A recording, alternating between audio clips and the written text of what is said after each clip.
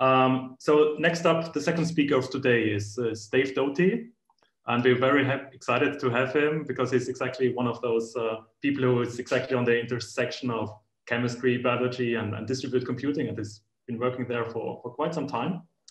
Um, having both deep theoretical results and real practical implementations. Uh, he will talk about one specific example of this, but he, he does a bunch of other things uh, at, at UC Davis with his students. Dave, take it away. Okay, thank you, Thomas. Uh, right, so, uh, so it was very generous to say I'll talk about one specific example. It's the, it's the only one I've implemented in the lab, and everything else I've done so far has been theoretical. But uh, so, okay, so right, so this is uh, this is we're going to dive deep on one single result, and it's this paper we published last year. Uh, and uh, we, we, you know, we had several people on the paper, but in particular, Damien Woods and Erik Winfree were, were uh, you know, we were all kind of the, the main authors and really, boy, this thing took a long time and we, we worked pretty hard making this happen. Um, so, uh, but there was a bunch of other people that really helped me learn the lab skills I needed because I knew nothing when I came into the, uh, into the field, how to pipette or use an atomic force microscope or anything. And uh, that would not have been possible without most of these people over here. So, okay, so um, I'm a little out of place here in the sense that I don't tend to think specifically about biology, although there's a lot of people in my field who do try to make what we do work inside of cells, but it's not the central goal. So Tom de Greef is talking tomorrow. He's one, one such person. Uh, the, the main goal we have here is we just want to know how to build things, right? We just want to, that, that's the goal here. We want to build stuff. Uh, okay, but we know how to build things, right? Humans have been doing this for thousands of years. Uh, here's some very old, very impressive things that were built. Uh, I went to this one actually last year uh, when I visited Damien's lab in Ireland. Although we couldn't get in, but we went, we drove in the back and just peeked at it through the fences in the neighborhood.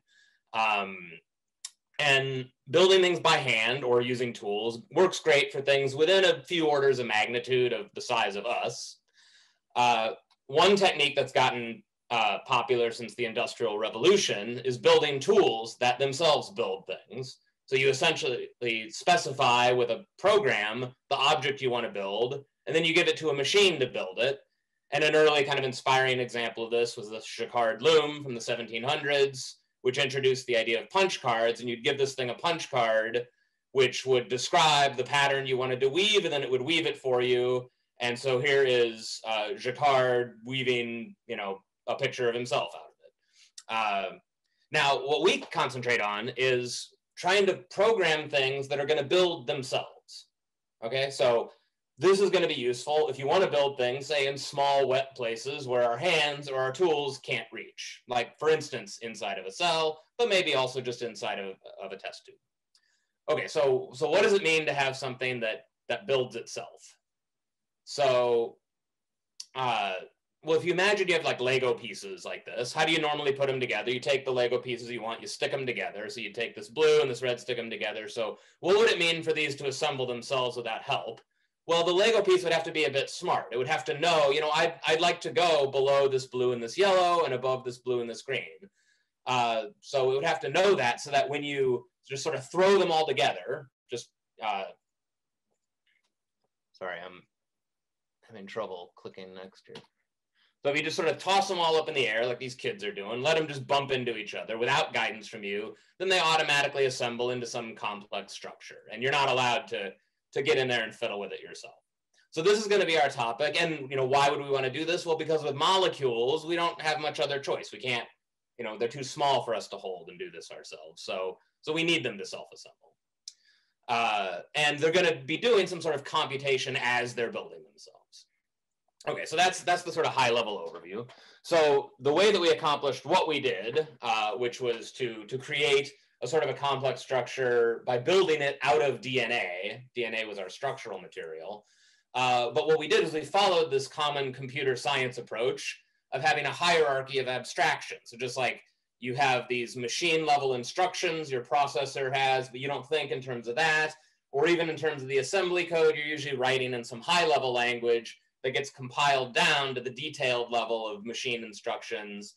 And we did the same thing. So we didn't have to spend the whole time thinking about individual DNA bases. So in this talk, I'm going to start at the top of that hierarchy. And before we get to thinking about molecules or self-assembly, we're just going to think about bits, right? We're processing information. Information is, is bits. So here are some bits, right? There's some bits, and I don't like them too much, right? I don't like the way these are arranged. Uh, I like these bits better, right? I mean, they're the same bits, but they're just arranged with the ones kind of nicely shuffled to the top there. So, so how can we how can we rearrange them? Well, we can imagine comparing bits and saying, well, if I want the ones on top, but I see a one below a zero, I can swap them. Uh, and maybe if I compare and they're already in the right order, I leave them. Maybe they're both ones, they're already in the right order. Uh, and if I kept comparing those pairs, well, nothing much else would happen. So I kind of shift my reading frame here and I see a zero and a one out of order. I can swap them. Uh, and if I just keep doing this, eventually all the ones make it up to the top. And we have another name for this, uh, you know, algorithm. We call it sorting, right? So we're, we're just sorting bits here. Okay, so there, there's some some way I could think about rearranging bits. Uh, here's here's some more bits, and uh, you know I like it when there's an odd number of bits. I'd like to know is there an odd number or an even number, uh, and so maybe I'll just move them all to the middle here so I can sort of count them. Uh, so we'll take any ones that are above that line and move them down, but if there's a one below the line, we'll move it up. So this is highlighted, and we're, we're going to let ourselves do different kind of processing depending on you know how high this little circle is. Uh, so we'll label it by, you know, what, what sort of function it's computing. And we can't fit too many bits in here, just one. So if two ones get together, then we're going to say they just cancel each other out. So we have one one left, and eventually it makes its way to the middle, and it just kind of stays there. But if we had started uh, with an even number of bits, then you know the two bits in the middle would cancel each other. The other two ones would make it to the middle. They'd cancel, and then you would not get this sort of stripe of ones in the middle. So we have another name for this in computer science. It's just called parity. We're, we're computing the parity of the number of ones on the left here. So what I've been alluding to here, right, by these examples is a what we call a model of computation, uh, meaning just some formal mathematical definition of a way that you're going to do computation. And in this model, it's a Boolean circuit model, and the fundamental object is what we'll call a gate. And this gate, uh, unlike a lot of gates you might think about with two inputs and one output, now, now we have two outputs. So a gate is just any function that takes two bits as input, produces two bits as output.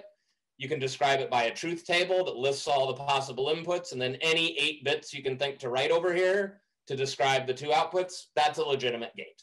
So this is like an XOR on the first bit and, a, and an AND on the second bit, for example.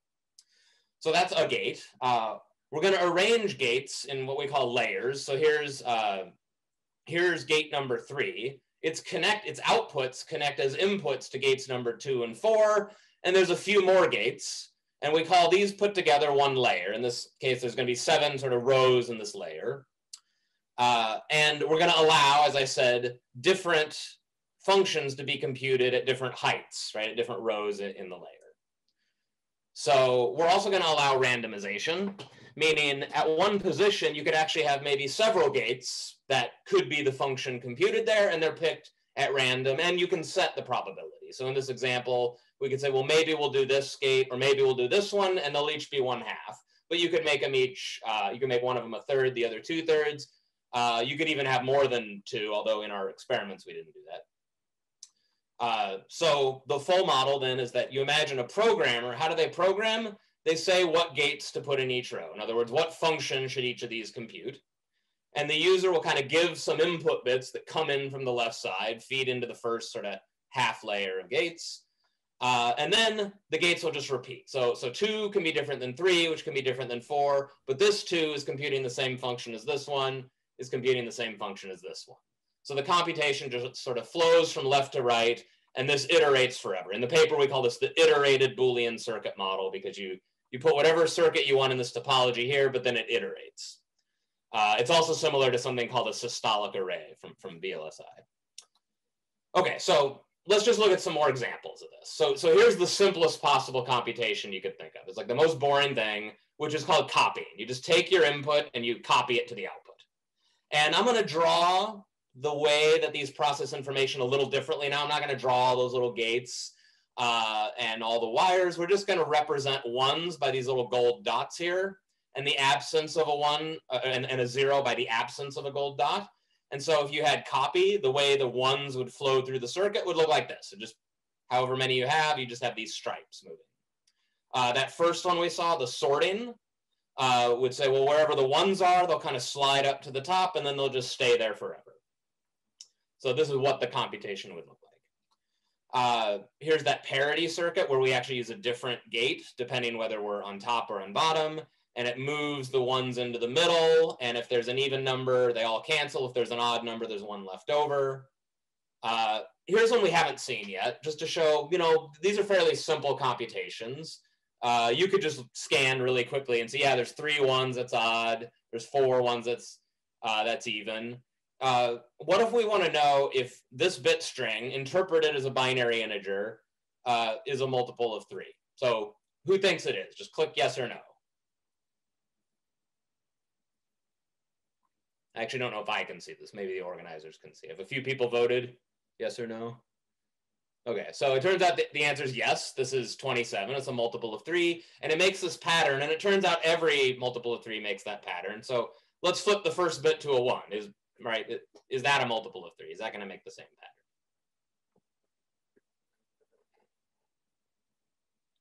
right? So I mean, this is not a terribly hard computation, but you know, we can't just do it in our heads. I mean, I can't do it in my head. Maybe some people are doing it in their heads. So this is not a multiple of three. It's it's two more than a multiple of three. And it turns out it makes this other pattern that looks like this. And in fact, every non-multiple of three results in this pattern. So uh, as I said, the, the model is randomized. We're allowed to say, well, you can, you know, pick one of two things to do at a position randomly. So here's an example. We could say at each position, we're going to do the sorting gate, or we might just do the copy gate. We call this lazy sorting. It's kind of a boring randomized algorithm. It's just sorting that takes a little longer to sort. So at each point, you may copy or you may move a one up if it's supposed to go up. So eventually the bits get sorted, but it takes a while. Okay, so, so here's some other examples of deterministic circuits. We have parity multiple of three. These answer a yes-no question about the input by making one or another pattern in all cases. Here's another one uh, that computer scientists think a lot about called palindrome. We want to know uh, if I look at the input, does it look the same in forward or reverse? This one does and this one doesn't. And we have a circuit that if it does look the same forward and reverse, it eventually gets rid of all the ones. And otherwise it, it makes this pattern that if you think about it is just cycling through a bunch of non-palindromes, right? If it ever hit a palindrome, well, then it would do the right computation, get rid of this. So this is just sort of cycling through all the non-palindromes. Now, there's six bits here. So there's two to the six, which is 64 possible inputs we could give, but that input, that, that output is just the input to the next layer. So if we go through 64 layers, we have to, at some point, repeat one of the, one of the bit strings and enter a cycle. That's, that's always going to have to happen. So we had a question, could, could we get through all 64 inputs before repeating. Uh, and we couldn't actually figure out how to do it, but, uh, but Erik Winfree wrote a computer program to figure out how to cycle through 63 of the 64 possible inputs before it finally repeats. And it turns out this circuit on that one input that's missing, that's just a fixed point. And if you ever go to that, then it, uh, it just stays there forever. Uh, and then here's another interesting kind of computation you can do. We can simulate a particular cellular automaton, goes by the name of Rule 110, which is sort of a similar model to what we have here, but not the same. It's, it's non-trivial to, to simulate. But these are similar kind of rules based on your neighbors. You, you flip a bit from a zero to a one or the other way, and it makes these patterns that look kind of like these triangles here. And it turns out we can simulate that. We can't simulate all of the cellular automata, but we can simulate this one. And this is a very important one because my co-author, Damien Woods, along with his student, uh, Turlough Neary, proved uh, uh, uh, about 14 years ago that this particular cellular automaton can efficiently execute any algorithm, right? So you just, you write any algorithm, any program in your favorite programming language, uh, you can turn it into a particular setting of the configuration of rule 110 so that it executes that algorithm. So with enough bits, more than six bits as we have here, we could actually execute any algorithm that we want. Uh, and then Damien was the one who figured out how to do this simulation uh, right before he went in the lab and, and you know made it happen. So that might have been the happiest day of his life was figuring out how to how to simulate rule 110. So so these can do some fairly non-trivial computation, it turns out. Uh, there's these other randomized circuits. Lazy parity is like lazy sorting. It computes the parity a little slower.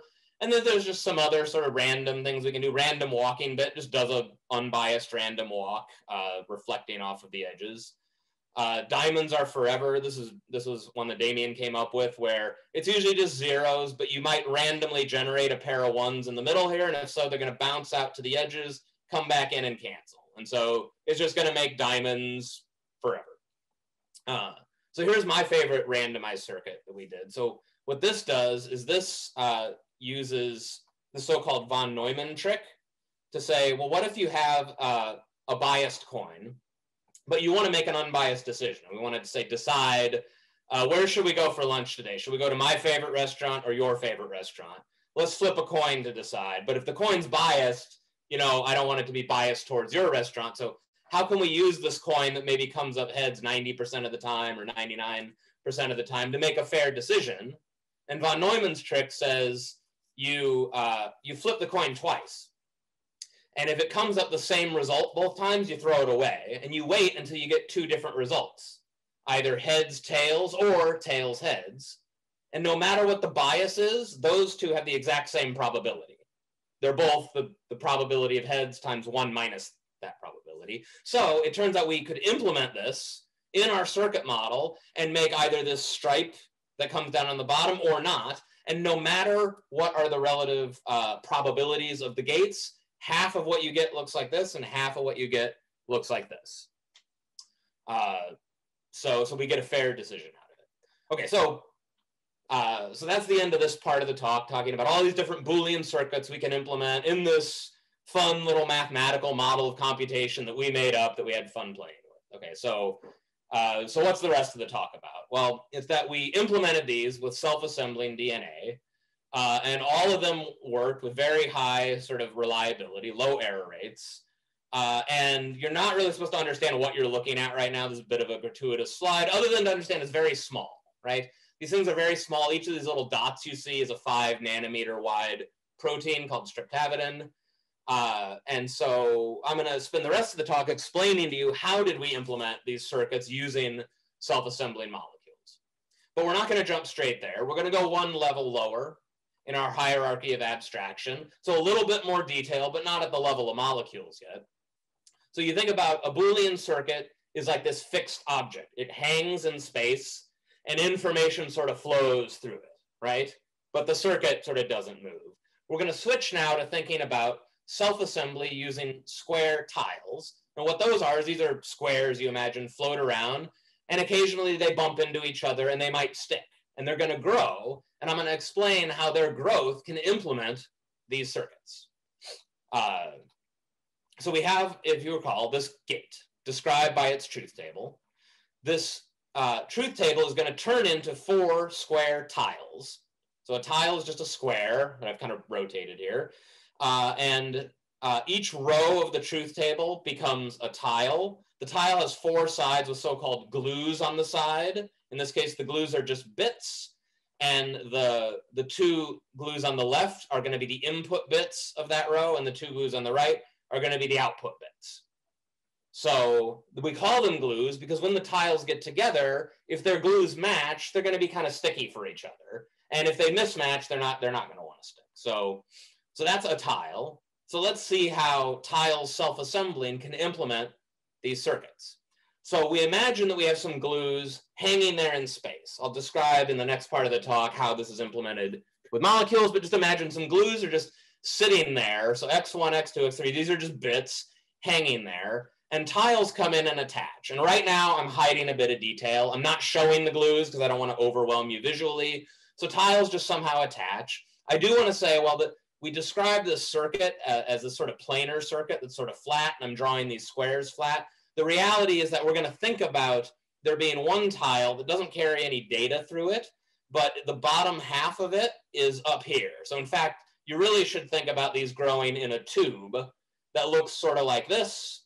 Uh, and so every one of them is just using these two left sides when it sort of binds, including this, this data-free one right here. But I'm, I want to draw it on the screen so you imagine mentally cut it open and lay it flat, and that's what you're looking at.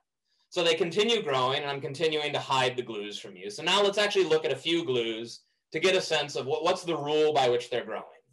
So what I didn't mention in the last slide is actually each glue not only encodes a bit, but it encodes the height. So a one at height at this height is different than a one at this height according to the glue. Uh, so let's look at just this position right here that has a zero sub two and a one sub three glue adjacent to it. Well, if you remember, there are four tiles that are support, supposed to sort of go in that row and implement the gate there. And their left input bits enumerate every possible pair of input bits. So which one's going to go there? Well, two of them mismatch on one of the glues. Like this one sub two does not match the zero sub two. So these each mismatch one of the glues. One of them mismatches both. It definitely won't go there. But one of them matches both glues. And we're going to say that in this model, we have cooperative binding, meaning a tile can only stick to this lattice and grow it if both of its input glues match. So that's the one that's going to go there. And if you recall, the, the two glues on the right are the output bits of that gate. So that's the sense in which tiles self-assembling can implement this Boolean logic. So this thing, you know, it doesn't have like a gate or circuitry within it. It just has these four glues, but because it's the only one that can go there, then that's why the, the proper output bits show up. Okay, so those are tiles, uh, but they're perfect squares with this perfect cooperative binding rule that works because I like it to work. I, am a mathematician, I like to say, uh, this is the rule, and if one tile uh, mismatches a glue, it can't go there. But the point is we implemented this using real molecules, uh, and we used DNA. So now I'm going to explain how did we make that happen. So, uh, so first I'm going to dive a little bit uh, into just some of the basics of, of this field called structural DNA nanotechnology, which I like to describe as being something like DNA carpentry. So uh, I would guess that most of the people in this workshop care about DNA for its biological function, but we're more like carpenters who use wood and don't care about its biological function of holding trees up in the air. We just want to use it as a building material, but it's a smarter building material than wood. Uh, so, uh, so DNA, if you recall, is this polymer composed of these four bases, uh, A, T, G, and C, with this specific binding rule. A binds only to T, G binds only to C, and we sometimes will ignore the 3D structure. In this uh, experiment, we had to pay a lot of attention to it, but I'm going to mostly ignore it in the talk.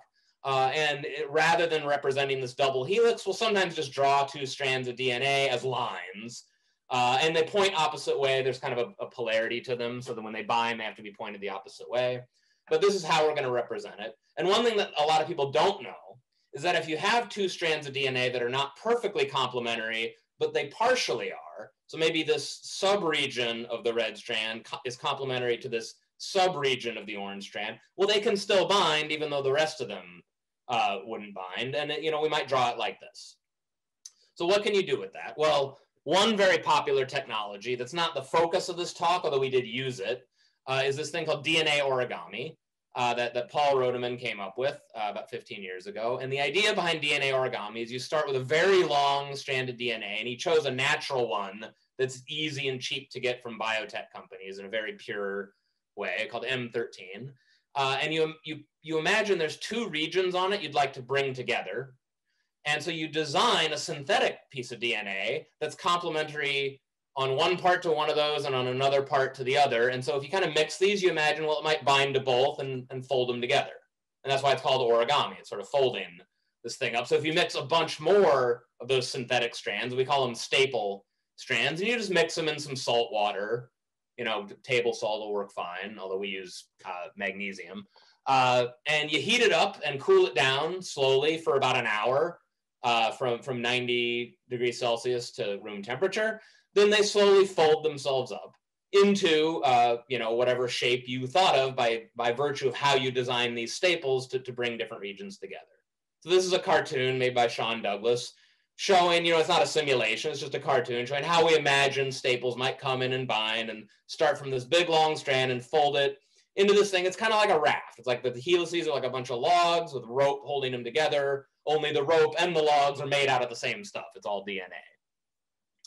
So uh, so that works very well. That's that's DNA origami, and it's not the main technique we had, but we did use it for one part that I'll explain. So why would you want to, you know, why would you want to do this? Why would you want to build stuff out of DNA? Well, there's a bunch of applications people think about. I don't think about these as much, but uh, um, and they're not all biological, although some are because of DNA being biocompatible. But there's there's reasons you might want to build stuff out of DNA and and not take it anywhere near a cell. Uh, here's one that is a bit biological that uh, that uh, Shawn Douglas and and uh, and his collaborators did uh, about eight years ago, which is building out of DNA this sort of clamshell shape that has some antibodies inside of it, and then uh, it's sort of designed to want to pop open, but it's being held together by these two latches. And those use something called aptamers, where if two particular proteins are present, they can open the latches and pop open uh, the shape and expose, you know, the, the antibodies inside. So this was just done in vitro. This was not, this didn't cure cancer or anything, but it's, uh, it's an idea people have to sort of build these sort of smart systems, or you can imagine delivering this somewhere where you wouldn't want them all to pop open only if, uh, if something's present to, to match the latch. So, uh, but I get really inspired by stuff like this. We're just, you know, we're just figuring out how do we really control matter at the molecular level and do whatever we want. Maybe we want to make art. Maybe we just want to draw really interesting things. So, so I'm going to uh, be a little bit permissive here and talk about my favorite application of this technology, which is something I did about a year ago. Uh, so I made a bunch of DNA origami and I wrote some patterns on the surface of it. And I was really anxious for this to work. So I put a, very high concentration into the sample and then imaged it with an atomic force microscope. So they're sort of crowding the surface. There's a lot of them here. So I've sort of zoomed in and I'll just let you stare at it and see if anybody can kind of guess what's going on here. What, what are these patterns on the surface? Uh, what does it say? Anybody have any ideas? Ah, all right, somebody got it. Yeah, so so somebody said, is, is it a proposal? And it turns out uh, it, it is, it's a little proposal, right? Because it's, it's 50 nanometers high. Uh, so two of those words are kind of hard for you to recognize, but, uh, but, but this person recognized them. That's her name, Beth Yim. Um, and then there was, there was four other words that I wrote uh, on these and kind of put them together. Uh, and then I, I, showed this to her in, in Damien Woods's lab in Maynooth, uh, Ireland. And, you know, it was a very romantic setting here, this windowless phosphorescent white room. And we did some very rapid uh, lab training uh, that didn't follow all the safety protocols, maybe uh, so that she could give me an answer. And so, anyway, I found this to be a very effective application of DNA nanotechnology. Um, so, so anyway, sorry, I was self-indulgent there. Back to um, back to the meat of the talk. So, in this other experiment, we wanted to uh, self-assemble tiles that do a computation. And there's a lot of different ways to build tiles. These, you know, implementation of a square uh, with DNA, and they're not all shaped like squares. Uh, one in particular is not shaped like a square, but it's a very elegant. It's called a single-stranded tile. You just have a single-stranded DNA, but you sort of logically section it into these four binding domains so that each one of them is supposed to bind to a different other tile. So these things are not shaped like squares. They're kind of drawn like these U's here. The reality is they, you know, they twirl around in a helix but the the binding graph of this thing describing which tiles are bound to which others that's a square lattice graph so it's still an implementation of square tiles uh, and you can make a lot of shapes out, out of tiles this is something that was done by, by Bryan Wei Mingjie uh, Dai and Peng Yin's lab where essentially they made a big rectangle uh, with one, you know, sort of tile per pixel in the rectangle, and then by leaving out an appropriate subset of it, you can make a bunch of different shapes. So so that's what they did. Um, and these techniques I've talked about so far, this one and that DNA origami, these use something called unique addressing, which is different than what we did, which is algorithmic self-assembly. So unique addressing means each DNA monomer, and a monomer could be a single strand, or it could be like, in this case, a whole origami is a monomer self-assembling to others. Each one of them appears exactly once in the final structure. So you have some staple that goes four over and two up, in this one, you have some origami that goes four over and two up. Here you have some tile that goes four over and two up, and it doesn't go anywhere else. But in algorithmic self-assembly, this is going to be distinguished by DNA tiles being reused many times throughout the structure. So they don't know exactly where they are. They have to kind of compute what they want to do using only local information. So we're going to grow them in this sort of topology uh, called the DNA nanotube. So you imagine we have, we're going to have 16 helices in parallel. And I didn't have a diagram of this. So here's a 20 helix uh, nanotube that kind of shows some of the, the 3D structure of what it would look like for these things to be bound. But to connect it to those line drawings I did before, it would kind of look like this. These would be the single stranded tiles, but they're sort of curving around in 3D space like this. And here is the key to what we did. It was called seeded growth. So if you recall, we had these single stranded tiles implementing this kind of perfect square tile, which itself we think of as implementing a kind of Boolean computation. But the real key is that we, we need a barrier to nucleation, meaning we want to grow these in conditions where the tiles actually don't want to bind to each other too much without a seed. But if we have a seed, and our seed is going to be made out of DNA origami, it's going to provide through some single-stranded extensions sticking off the side of it, uh, the, the input that we give to the computation that these bind to. So we're going to start with a seed, and in these conditions that we grow, they don't bind to each other too much because they can only bind by one domain each. But if the seed is there, they can bind by this thing to two domains. And then they can provide two more domains and they can kind of grow. So this is going to be that. Remember, I said you have glues hanging there in space. This is what they're hanging onto. They're hanging onto this origami and they just grow to the right forever from this thing. So this is the structure that's going to grow. And ideally, we would like to know, well, what structure grew? Another, you know, we'd like to know what is every strand in it. Did it have, did the right strands go in the right place? But we don't really have a mechanism to do that. Like we can't sequence it because we'd have to melt the whole thing first. Then we wouldn't know where they are.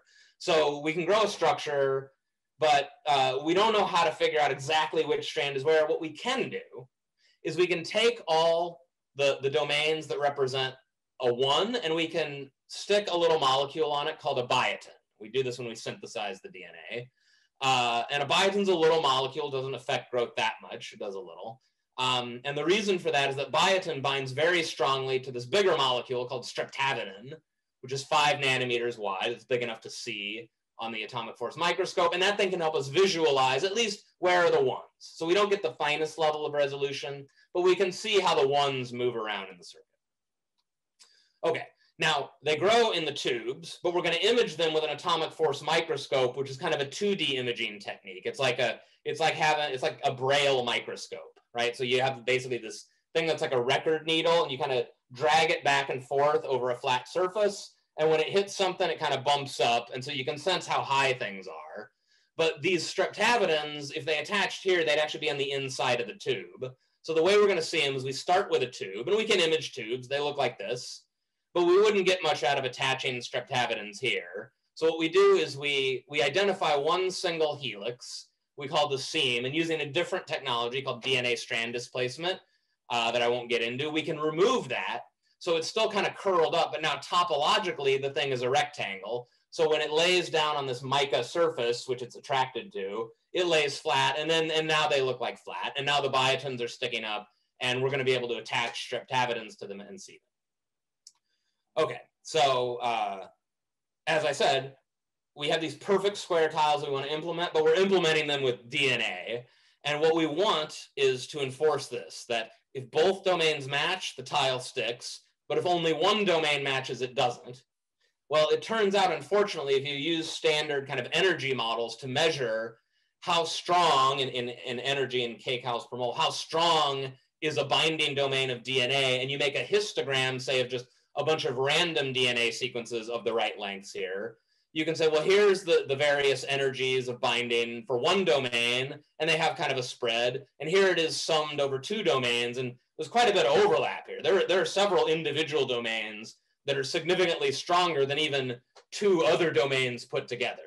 So if we use just random DNA sequences, we would not get this, this rule sort of enforced that this binding is twice as strong as this binding. So we had to do some pretty heavy DNA sequence design to get a subset of sequences where uh, just one domain is kind of a little more tight around this range, and two of them put together in this range, and then we don't have any overlap. So now we get the two domains really are twice as strong as one domain. Uh, and the reason is that you know we we want to make sure that this kind of thing where one matches and the other doesn't doesn't stick very stably. That's what we want. Uh, we would like when two of them match, it's much stronger. And there's some other constraints we had to enforce. Uh, low, what we call secondary structure. So an individual strand shouldn't bind to itself too much. That can also be done by, uh, by, by, the same algorithm that we use. Uh, so this takes a while to run, but we got it. We designed our sequences. Uh, just a little bit of detail about what we did so you know what you're about to look at. Um, here is a diagram of the, the, how we get, we pick staples up uh, to, to, to put on the, the origami.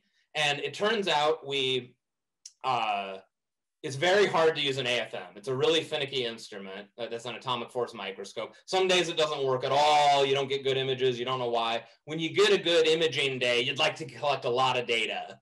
And so we'd like to put many experiments together at once, but be able to tell them apart. So what we're going to do is we're going to write some little digits on the surface of our DNA origami seeds just to tell us, you know, uh, what was it, right? So we, we sort of pick out some versions of the staples to have a biotin. And then these three digits, we just come up with some scheme where we say, okay, these three digits will tell us which circuit was running, you know, maybe computing parity, and which input was it running on. So we can put many of them together and know, you know, which one is which. So you're going to see a bunch of digits, and that's the reason why. It's a sort of multiplexing.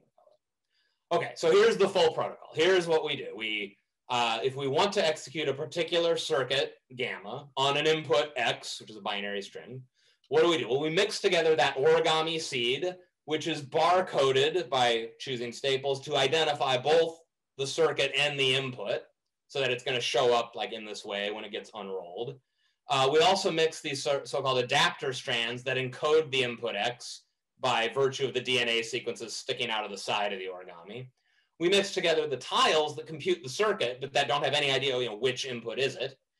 Um, and then we do a bunch of other stuff that's all extremely important. It took years to figure out, and it's going to be boring to talk about, so I don't want to talk about it. But we, it's very necessary we do all these things very roughly, we hold at about 51C for a day or two to let these things grow.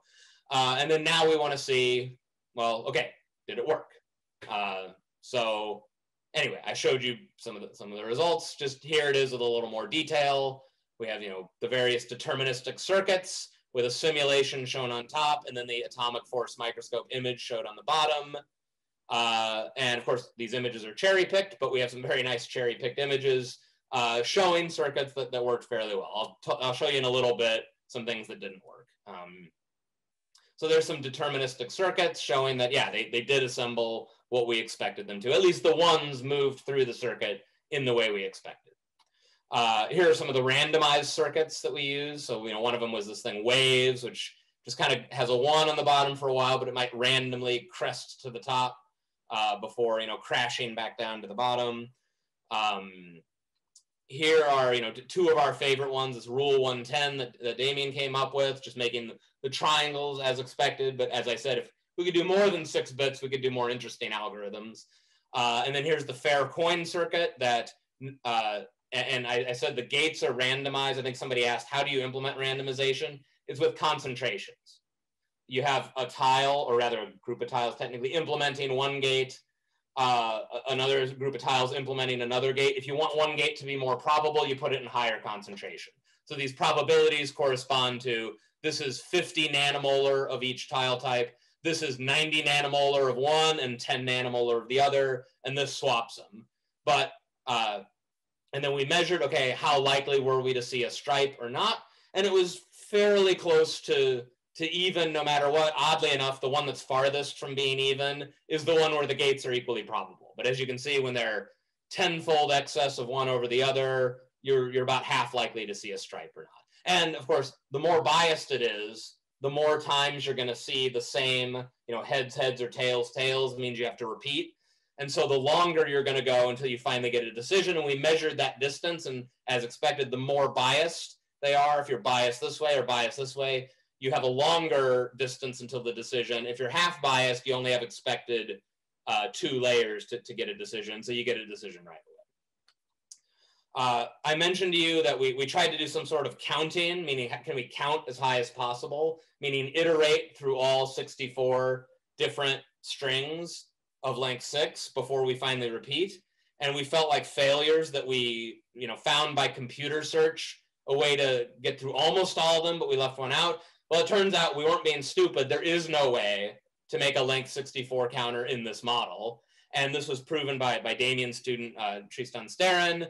And it's a consequence of the following theorem that you know, he knows a lot more group theory than we do. So he figured out how to prove that no Boolean function can compute what's a so-called odd permutation. And it turns out a, a 64 counter would be an odd permutation if some output bit does not depend on all of its input bits, which is true in our model because we have that sort of lattice structure where the very top gate does not take input from the bottom bits. So it's got an output bit that doesn't depend on all the input bits. So, so that's, that's the reason we can't actually count up to 64, but we can get almost all the way there. Uh, we took one circuit, one where it's kind of easy to visually identify, and tested it on all inputs. There's 64 strings of length six, 32 of them have an even number of ones, and 32 of them have an odd number of ones. And as expected, we get a stripe when there's an odd number of ones, no stripe when there's an even number of ones.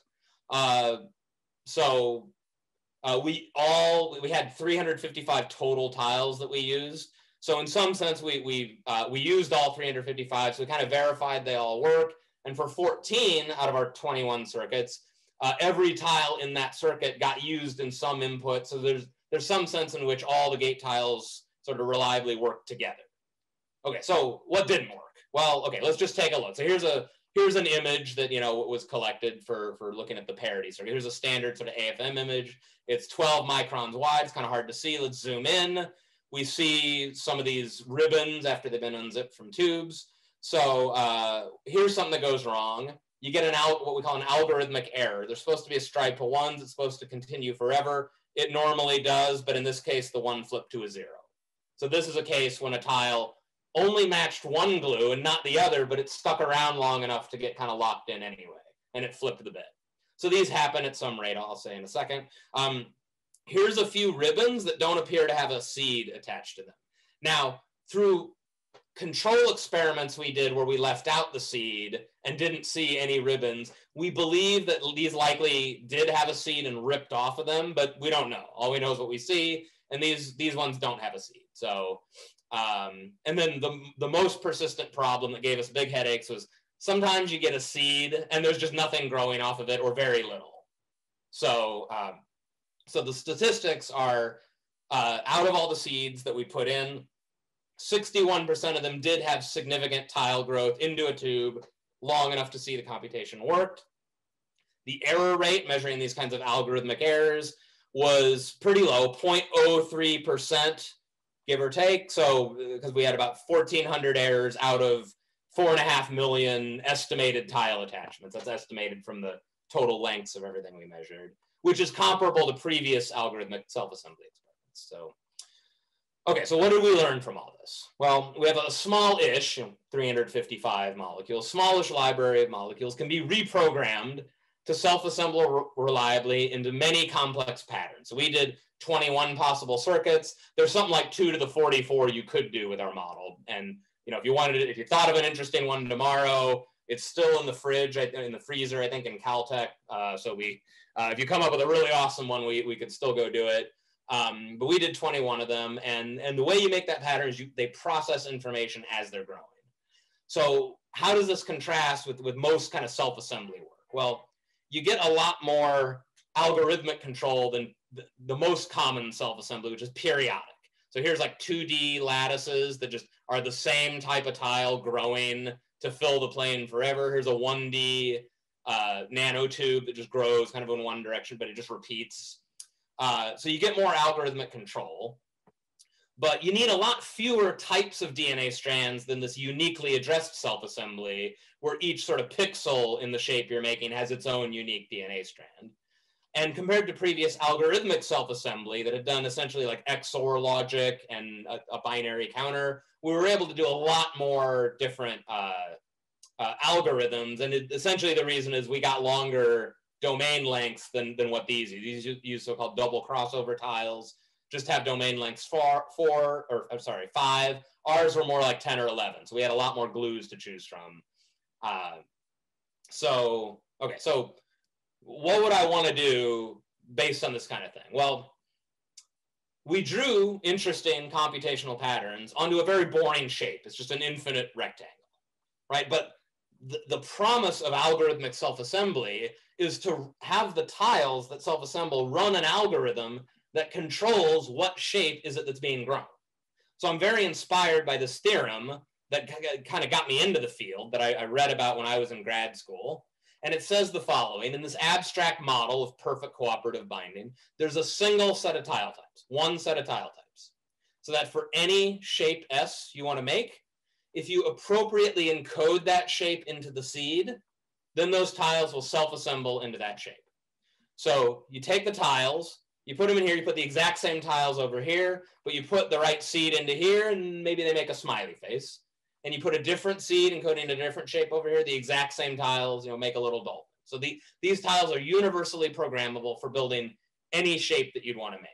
So this, we're very far from being able to do something like this, but I see nothing in the laws of physics ruling this out. I think it's just an engineering challenge to get there, and I'd like to get there someday. So uh, thank you very much, and I do want to plug that uh, uh, I do have uh, some money for a PhD student. So if anybody's looking for uh, yeah, PhD work ne next year, please apply at UC Davis. Thank you very much. Okay, thanks so much, Dave. Okay. For the awesome talk. Um, We've seen a, a, few questions in the chat. One of them you already answered from Moti. Uh, there was another by Yuval. Yuval, do you want to unmute yourself and, and ask the question? Uh, yeah, although I think that we somewhat got an answer already in the second part of the talk. I, I was, uh, if you go back to, what was it, slide 22. Yeah, so here, exactly in this example, I was uh, wondering, um, how you ensure that uh, your tile connects to the right uh, column. So you uh, you explained how it connects to the to the to the to the right row uh, using you you you were encoding the row number uh, in the tile, right? Right. But, well, there is no right column. The these four tile types that this one. Sorry, just give me a second. So the these four tile types that you see. Mm -hmm. uh, these are the only ones that ever go in this column. So, so they're all the right tile for this column, or sorry, they're all the right tile for this row. Right. Whether they should go in this column depends on whether they match both glues that are in the previous column. Yeah, but what happened? What would happen if you would uh, introduce them into the whatever tube or whatever what, what, whatever it is? Uh, let's say a few seconds beforehand, so that they can fit into like lower in your picture you you, you see like in, in a previous column rather Sorry, than our column so I'm, I'm thinking the columns are vertical and rows are horizontal. Are, are you exactly, saying column is yeah. horizontal? No, no, no, no. Columns are uh, are vertical. Well, the, the point is I'm not drawing the glues, but this tile might appear here or here or here. So it, it, it might be the right tile for that column depending on the two input bits here. So, so these four tiles will be chosen to go in this row at the various columns in that row. But yes, which one in, is correct for that? But in some of the circuits you introduced, in some of the circuits you introduced, you were using uh, different gates um, in uh, the same row in different columns, right? The opposite, the different. Uh, so I'm I'm saying as I move up and down, I'm changing row, but I'm in the same column. Exactly. Yeah. As I yeah, move so, left and right, I'm changing column, but I'm in the same row. So yeah, you can have true. different gates in different rows, but in sorry in, diff, in different rows, but at a particular row, every column is computing the exact same function. So you, you do not have you oh, cannot have a different gate here than here. Like all the threes are computing the exact same gate. Oh, that, okay. That's now a I get restriction it. of the model. I see. Okay, now I get it. Now I get it. Yeah. Okay, good, good. So I was under the impression so that, that's the may, reason uh, that in the, the the formal model described uh, here, we say you can choose whatever gates you want here, but those exact same functions have to be what's computed here and computed here. I see. Okay, now I get it. So you think of all of them put together, compute a single function from zero, one to the six to zero, one to the six, and that function gets iterated. I understand. Okay, yeah, that, that answers my question. Very good. Thank you very much. Yes, yes, please. I, I, am not sure that I, I, really got an answer. You mentioned that you can implement randomized algorithms. Mm -hmm. And I was wondering, what is the source of randomness? You mentioned something about concentrations of tiles, but but what, what if you like, given a circuit that you implement, where do you bring the, ra the randomness in order to compute? Right. So unfortunately, this slide shows only a deterministic one. So as I said, if if you have a gate, um, there are four tiles that correspond to it, one per truth table row defining the gate. If it's randomized, there's two gates. So you'd have eight tiles and you'd have two that have a zero and a one, two that have a one and a one, two that have a zero and a zero, and two that have a one and a zero. So in particular, at this point, that other gate would also have a tile that has a zero and a one. So that tile and this one would be competing to bind here. And the relative concentrations would determine the probability of who succeeds. So this is this is not like a randomized algorithm in the uh, in the sense that that it's there is a, de a deterministic Boolean function and a stream of of random bits that it uses in order to uh, uh, uh, perform the computation. It's I like mean, you can think of it, it's a circuit model. So how would you define a randomized Boolean circuit model? You'd say, well, you're allowed to have deterministic gates, but you're also allowed to have randomized gates. You have some gates where you can just say, this gate is going to compute this function with probability a third, and this other function with probability two thirds. So uh, okay, I think that's the most natural. Just think how, how would you define any randomized Boolean circuit? You'd, you'd probably do something like that. Let some of the gates flip a coin to determine what function they compute. Yes, that works. Thank you. Thank you. A great talk. Thank you. Thank you. Yeah, just I'm curious, can you give us an insight into how the sequences of the DNA tiles are identified? Like, yeah, so that's, yeah, go on. Yeah, uh, just to say, is it is it composition based, or are you also looking at, for example, the kinetics of annealing, um, the order in which the bases find each other, those sorts of questions?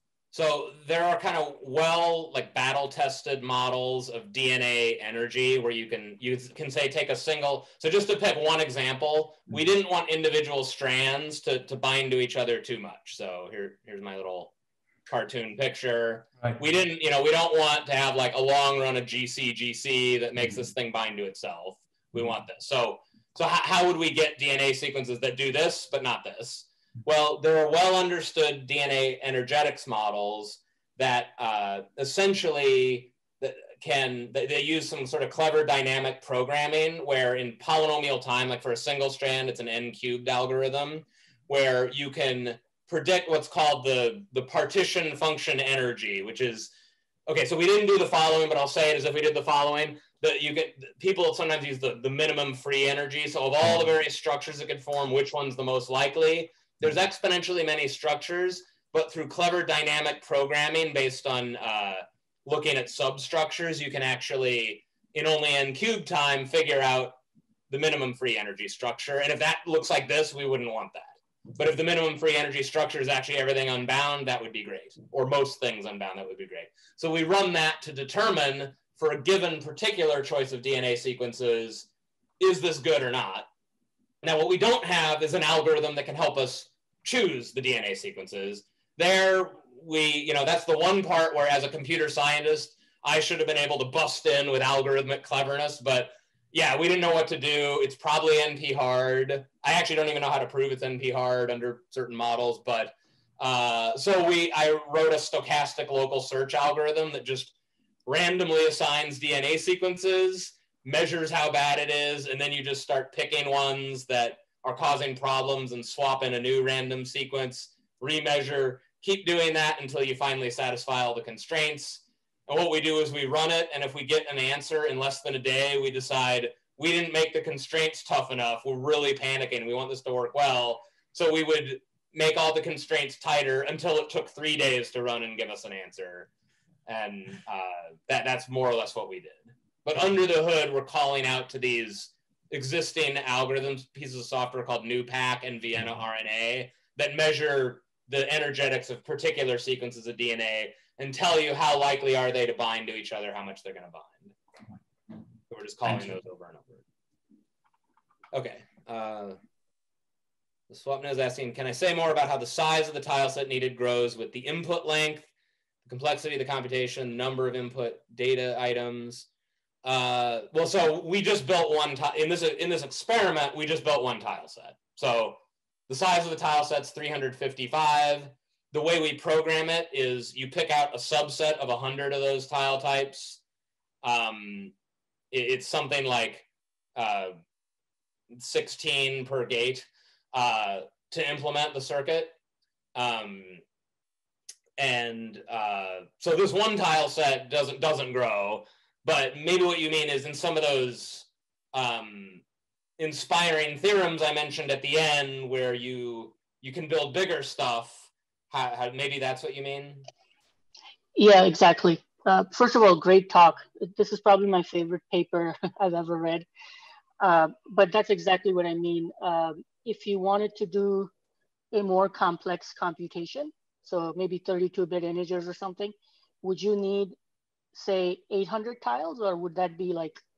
It'd be like additive e- like e- okay. each uh, so so yeah it would just scale with how many layers or sorry how many rows we want to do but i actually started with 32 and it, i could never get the tubes to grow very well and to this day i don't know why i think it might have to do with the natural curvature of the the, the actually the single stranded dna tiles want to be in a tube of circumference about 12 helices so I, I to this day i don't know why 32 didn't work very well so it's mainly a, a, chemistry problem to make it bigger. But in terms of just designing the tiles, if we did 32, we'd need about twice as many. We would need around 700 tiles for this. It's just additive with how many different, you know, gate positions you have.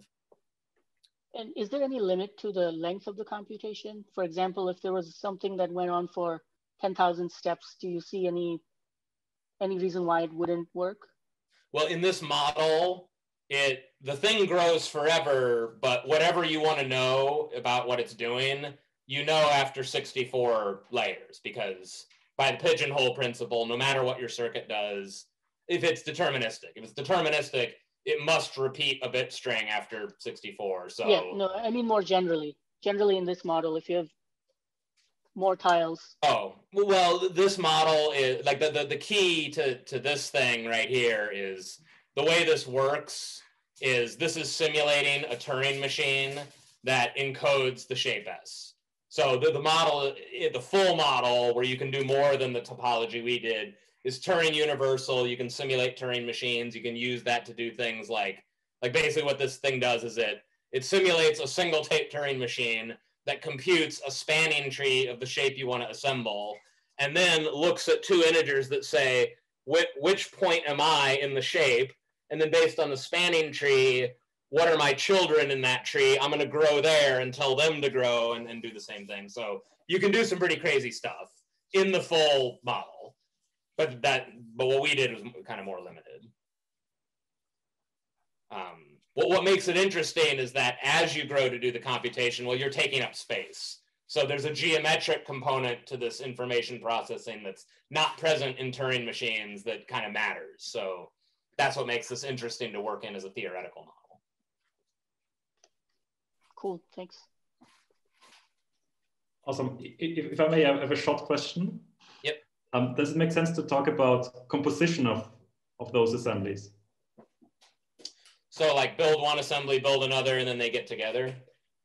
Yeah, so in the theoretical model, we, we call this sometimes the two-handed model because when we describe it, we, we say build an assembly, build an assembly, and then they come together. Uh, there has been some uh, implementation of that at in some sense. So like one of the pictures I showed here, uh,